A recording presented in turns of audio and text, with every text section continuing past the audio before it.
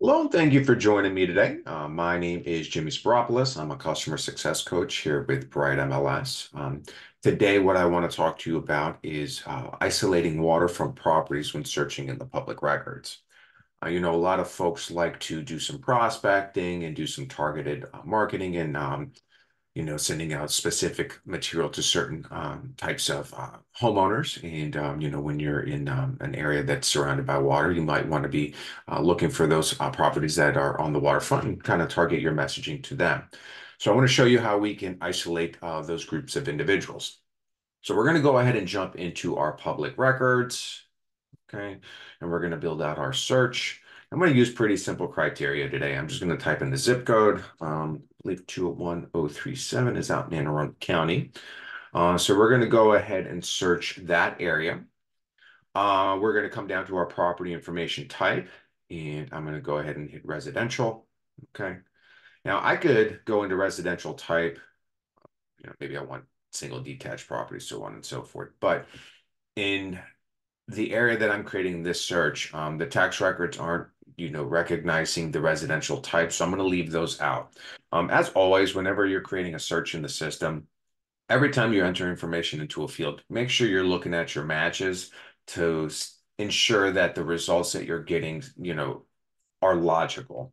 So I can see that zero matches. Uh, this is a field that I don't want to use. So I'm going to go ahead and omit that. Okay. Uh, I'm going to scroll down to owner occupied because, um, you know, maybe I want to target those homeowners that are on the water that might not want to or might be looking to sell their property. So um, we've got waterfront owner, I'm sorry, residential class is, uh, or property class is residential, owner occupied. And now what I'm going to do is come down here to my additional fields. All right. I'm going to go ahead and in the search bar, I'm going to type in county. And the first thing that I'm going to see is county land description. I'm going to go ahead and enter that or select that and add that as a selected field. And we'll go back. All right. So I've got a little over 5,000 matches right now. So I'm going to narrow this down. I'm going to enter waterfront in this field. And as you can see, I'm left with 695 matches. So I'll go ahead and go into my results. And I just want to make sure that, you know, that that information is correct. So I'm going to add an additional field. I'm going to hover over one of my uh, tabs here until I get these crosshairs. Go ahead and click on my mouse. I'm going to insert column. All right. I'm going to type in county land description again.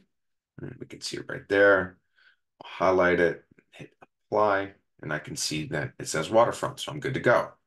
Now, if you ever want to just double check to make sure that this is pulling the right information, um, you can go back into the criteria I'm going to go ahead and just remove waterfront from here. Okay. Go back into my results. Right. I think it was on page four because there's a lot of results here. Let's let's jump through here. Yeah, okay, we can see one.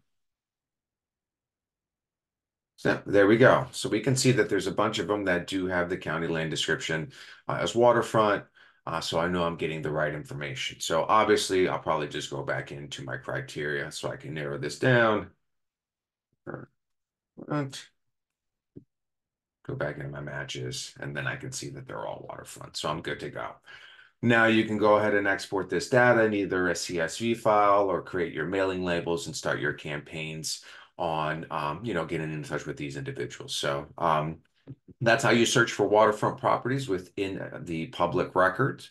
If you have questions, comments, concerns, let us know. We're here to help. And uh, thank you for joining me today. I hope uh, hope you all have a wonderful day. Take care.